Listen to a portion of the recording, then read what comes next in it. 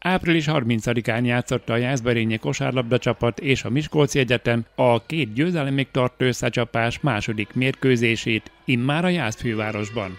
Mivel Borsodban is a Berényi együttes nyert, így bizton számíthattunk arra, hogy nem lesz harmadik mérkőzés. Mindez az első negyedben nem nagyon látszott, mert mindössze négy egységgel vezetett a hazai gárda. Aztán a két perces pihenő után is a JKS akarata érvényesült, így a félidőben 54-44 volt látható a fali táblán.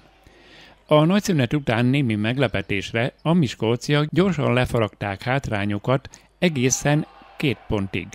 Ám ettől közelebb nem kerültek, mert a hazai alakulat ismét ráerősített, és a harmadik negyed végén már 11 pont volt közte.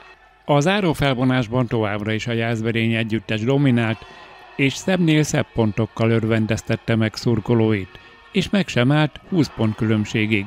Itt Puskás Artúr beküldte a fiatalokat is, így ők is hozzájárultak az újabb győzelemhez, ami a 9. hely megszerzését jelentette a JKS számára. A csapat edzője mindenkinek megköszönte munkáját. Egyrészt a irodán dolgozóknak szeretném megköszönni, a hölgyeknek, akik csinálták a papír és háttérmunkát, Pintér Ferinek, aki folyamatosan gondolkozott, hogy a TAO-ból hogy lehet kisajtolni, hogy a gondokat megoldjuk, Borszéki Csabinak, aki összetartotta ezeket a technikai dolgokat. Szeretném megköszönni Sacinak, aki gyakorlatilag mindenkinek a pótanyukája volt, és amikor nagyon égett a ház, és nagyon fonnyadtak voltak a fiúk értető okokból, akkor tartotta bennük a lelket.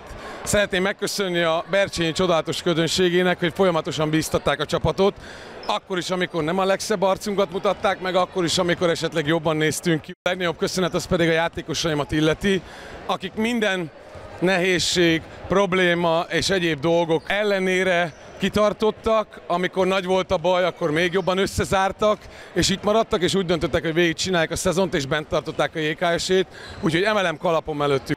Az új elnökség egyik tagja is elemezte a csapat idei teljesítményét. Ez egy érdekes és nehéz év volt, nagyon sok változással, nagyon sok hullámvölgyel.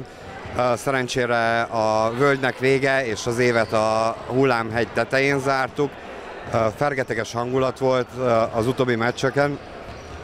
Köszönjük szépen a szurkolóinknak is, akik kitartottak a nemes csapat mellett, és külön köszönet a játékosoknak, hogy a nehéz időkben is, és a, a, a alagút végén, amikor meglátták a fényt, akkor is mindent beleadtak, hogy ezt az eredményt idén elérjük. Böndi Attilától azt is megtudtuk, hogy a következő idényben ettől sokkal jobb eredményt szeretnének elérni. Közben a játékosok a pályán maradtak, és autogramok írogatásával búcsúztak a fiataloktól.